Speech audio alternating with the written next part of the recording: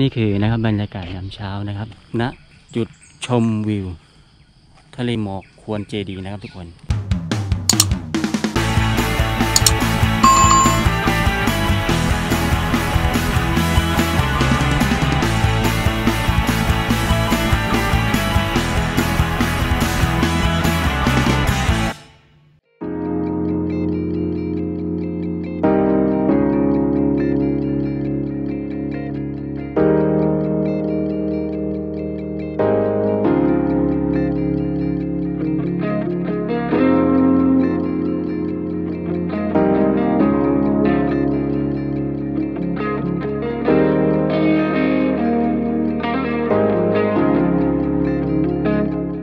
ควรเจดีย์นะครับทุกคน ซึ่งถือว่าวันนี้นะครับฝนเยอะพอสมควรนะครับทุกคน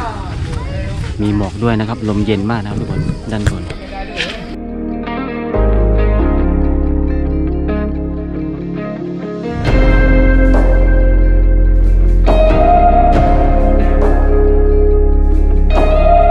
ใกล้ๆบ้านนะครับ ก็ประมาณ 15 กิโลนะครับจากบ้าน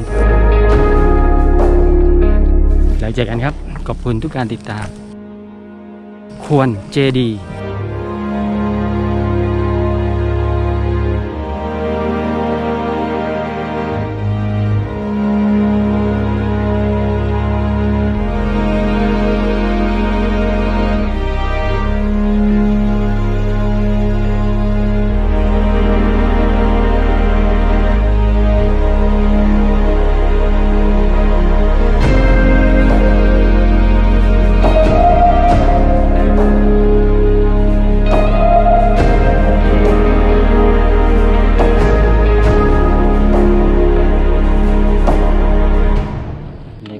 กลับนะครับ ก็กินข้าวเช้านะครับปิด็กชายซอลิก็ดูดนมนะครับปิกนิกจอมย่อมนะครับครับ ใส่เสื้อทีมด้วย